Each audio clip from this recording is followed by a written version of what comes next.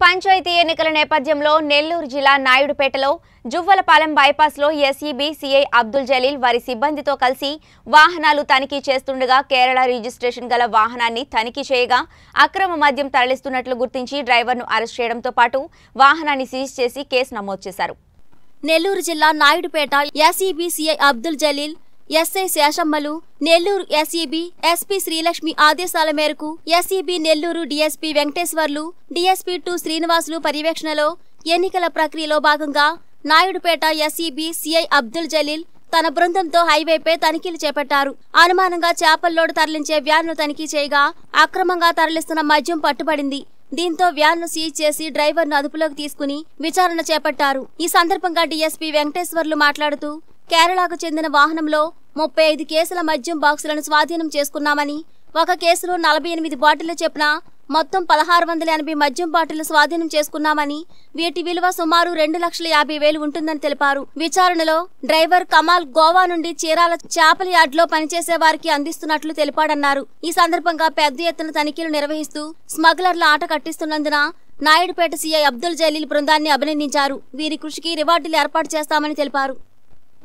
శ్రీనివాసాచార్య గారి ఆదేశాల మేరకు మరి స్థానిక ఎన్నికల సందర్భంగా విజయవాడ కమిషనర్ గారి సబ్ కమిషనర్ గారి ఆదేశాల మేరకు మేము ఒక ప్లా ప్లానింగ్ ద్వారా ప్రణాళికాబద్ధంగా వెహికల్ తనిఖీ నిమిత్తము అన్ని స్టేషన్లు అన్ని ప్రాంతాల్లో కూడా వెహికల్ తనిఖీ చేసే నిమిత్తము నిన్న సాయంత్రం తొమ్మిదిన్నర నుంచి పదకొండున్నర మధ్య టైంలో ఆయిడిపేట స్టేషన్ పరిధిలో జలీల్ మరియు వాళ్ళ సబ్ ఇన్స్పెక్టర్ శేషమ్మ వాళ్ళ సిబ్బంది వాహనాలను తనిఖీ చేస్తుండగా ఒక గోవా నుండి బొలేరో మినీ ట్రక్లో కామిల్ సన్నాపు కామెన్ షేక్ కమాల్ అనే అతను ముప్పై ఐదు బాక్సులు గోవా మద్యాన్ని తీసుకొస్తున్నాడు.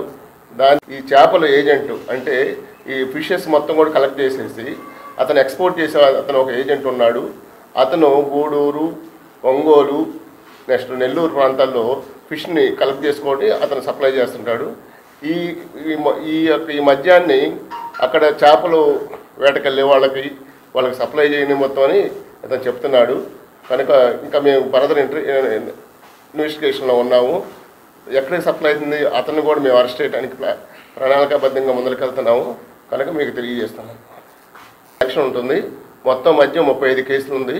అంటే పదహారు వందల నలభై బాటిల్. ఒక్కొక్క బాక్స్లో నలభై ఎనిమిది బాటిల్స్ ఉంటాయి. రెండున్నర లక్షల వాల్యూ అవుతుంది?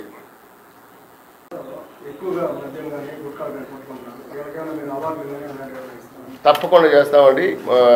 నాయుడుపేట స్టేషన్ లిమిట్స్లో ఇటు ఇన్స్పెక్టర్ గారు జలీల్ కానీ వాళ్ళ సబ్ ఇన్స్పెక్టర్ శేషమ్మ మరియు వాళ్ళ సిబ్బంది కూడా చాలా కష్టపడుతున్నారు. ప్రణాళికాబద్ధంగా బాగా పనిచేస్తున్నారు యాక్షన్ ప్లాన్ ప్రకారము చిత్తశుద్ధితో వర్క్ చేస్తున్నారు. వాళ్ళు మంచి ఈ మధ్యకాలంలోనే మీ మీ సమావేశంలో నేను చెప్పి ఉన్నాను.